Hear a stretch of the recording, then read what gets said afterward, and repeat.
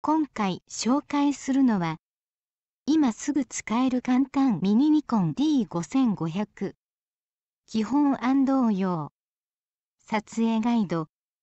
という本です。弟の結婚式のなんちゃって写真家に任命されニコン D5500 を購入したのですが操作方法が難しくて困っていました。こういった本が1冊あるだけで本当に助かります。私のようにデジタル音痴であっても分かりやすいカラーの写真で説明が丁寧に書かれているのとコンパクトなので持ち運びも簡単なところが良かったです。機能がたくさんありすぎるので今後はこの本を使いつつカメラを使い倒せるように頑張ります。カメラを購入したばかりでたくさんの役に立つ機能があり使いこなすのに自信がなったのでこの本を買いました。素人の私にも分かりやすい内容で役に立つと思います以上興味のある方は実際の商品を Amazon などでご確認ください今回は最後までお付き合いありがとうございました。よかったら